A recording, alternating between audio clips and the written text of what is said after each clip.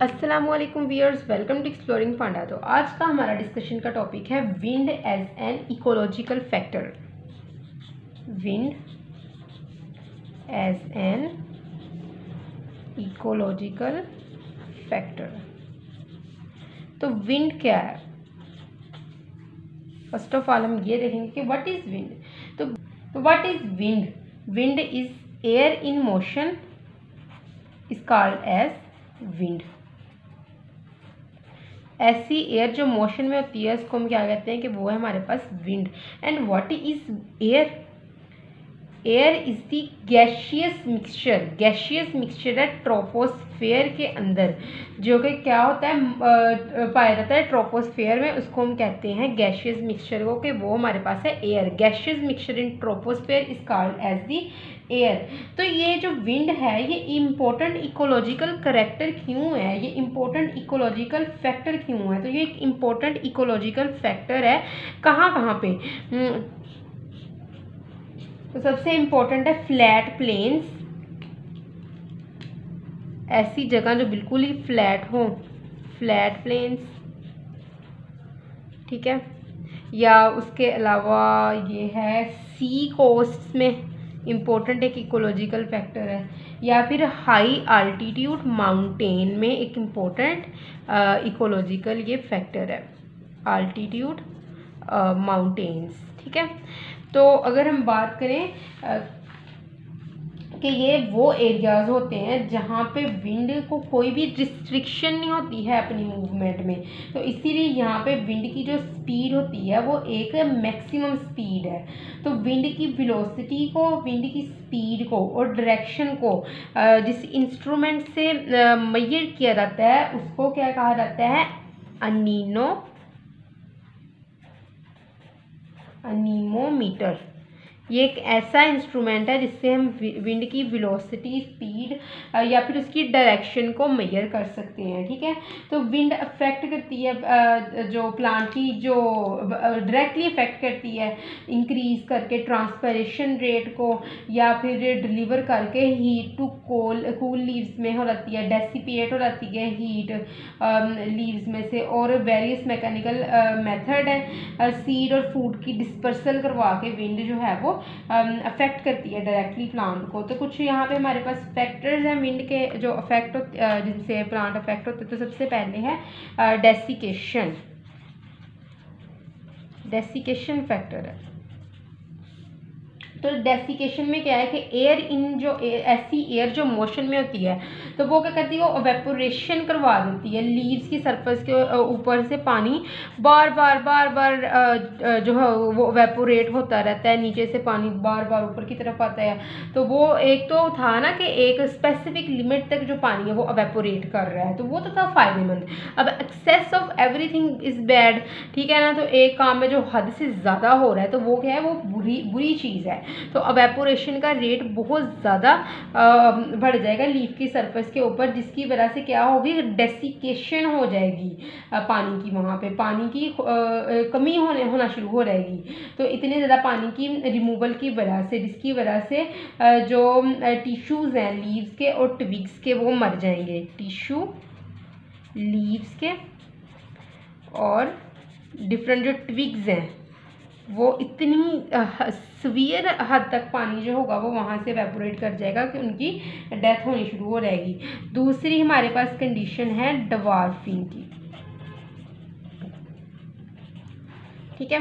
तो डिवार्फिंग की कंडीशन के अंदर क्या है कि टर्जिडिटी जो होती है ना प्लांट के अंदर टर्जिडिटी क्या कॉन्सेप्ट है टर्जिडिटी का आपके दिमाग में? तो यही कॉन्सेप्ट है कि जो वैक्यूल के अंदर पानी की क्वांटिटी बहुत ज़्यादा हो रहती है, जो कि सेल वाल को पुश करती है और सेल को टर्जिड बना के रखती है, जिसकी वजह से प्लांट की जो शेप है वो एक प्रॉपर टर्जिड शेप होती है, ठीक है ना? वो सख्त शेप होती है।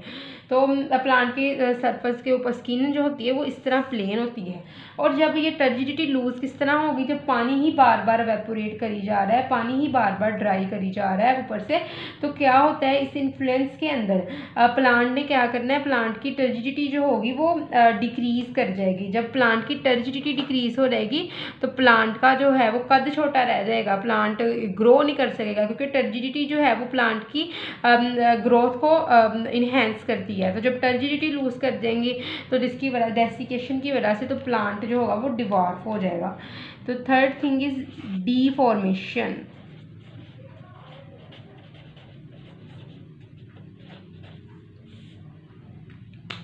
तो डीफॉर्मेशन का कॉन्सेप्ट क्या है कि जब डेवलपिंग शूट है, ऐसी शूट जो हर्बेशियस शूट की अगर हम बात करें डेवलपिंग शूट है, उसको बार बार जो है वो एक ही डायरेक्शन से कॉन्स्टेंटली एक विंड की तरफ़ से जो होगा वो फोर्स लगेगी, ठीक है ना? तो क्या होगा उसकी जो शेप होगी ना, वो लेस और वीक और अनडेवलप्ड शेप होगी।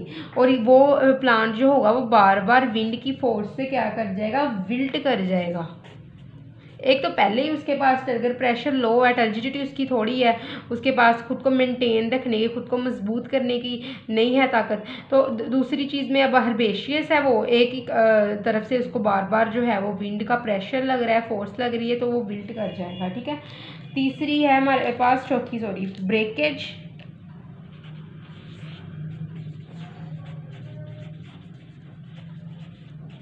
ब्रेकेज में क्या होता है, अब ऐसा प्लांट जो कि एक तो उसकी स्टेम जो है, वो वीक है।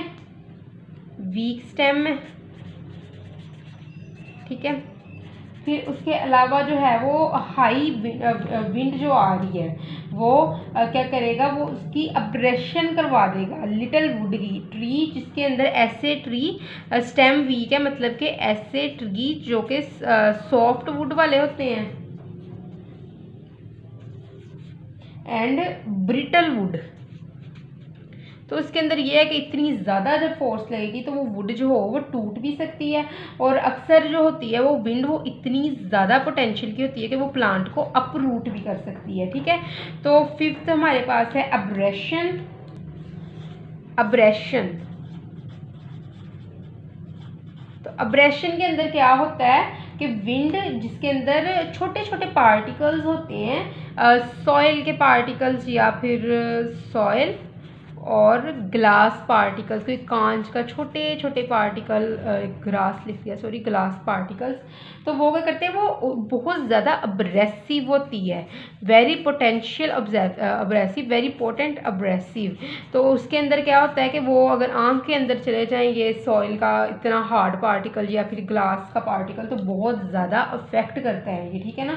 तो बहुत ही बुरी तरह ये अफेक्ट करते हैं। तो उसके अलावा हमारे पास सिक्स है। इरेजन सॉइल अरेजन सॉइल इरेजन तो बहुत ज़्यादा अब्रेसिव जो विंड होते हैं पार्टिकल्स ये जो नेचुरल सॉइल है, उसकी भी ओरेजन करवा सकते हैं soil are eroded by eroded away by that wind ठीक है?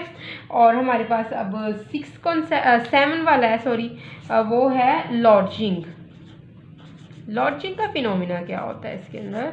लेट्स सी तो लॉजिंग में क्या होता है कि जब टेम्पोरेरी इंजरी होती है प्लांट को, इस कॉन्सेप्ट को हम कहते हैं कि ये क्या हुई है इसकी?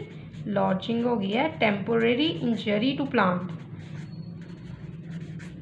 तो ये ऐसी इंजरी है जो बहुत वायलेंट मीन से होती है, जिसकी वजह से जो क्रॉप्स होते हैं ना, वो बिल्कुल ही ज़मीन के साथ फ्लैटेंड हो जाते हैं, इस तरह ज़मीन के साथ लग जाते हैं। अक्सर आप देखते भी होंगे कि जब पिक्चर्स में देखा होगा या फिर कहीं आपने सफ़र किया या कोई गाँव वगैरह में रहते हैं तो आपने देखा होगा जब बहुत ज़्यादा आती है ये, आती है, ये हवा आती है तो ये फ़सलें जो होती हैं, वो ज़मीन के साथ लग जाती हैं। तो हर बेशियस प्लांट के लिए ज़रा ये होता है कि थोड़ी बहुत टेम्प्रेरी इंजरी होती है। लेकिन अगर यही होंगे कि कोई ब्रिटल और सॉफ्ट वुड वाले ट्रीज़ होंगे तो वो टूट जाएँगे, ठीक है? या फिर अपरूट हो जाएँगे। तो आई होप सो कि आपको इसकी विंड की एज ए इकोलॉजिकल फैक्टर की समझ लगी होगी। और अब मैंने जो इकोलॉजी की प्ले है, उसको आप विज़िट करें प्लीज़ उसके अंदर मैंने सॉइल वाले भी टॉपिक कवर करवा दिए हैं विंड वाले भी, अब वाटर और उसके अलावा टेम्परेचर वाले भी टॉपिक कवर करवा देने हैं। और उसके अलावा इकोलॉजी की और भी टॉपिक्स जो आप चाहते हैं हैं कि मैं कवर करवाऊँ तो आप मुझे कमेंट सेक्शन में पूछ सकते हैं। और अगर आपको इसकी समझ लग रही है तो काइंडली लाइक सब्सक्राइब शेयर कर दें सपोर्ट कर दें।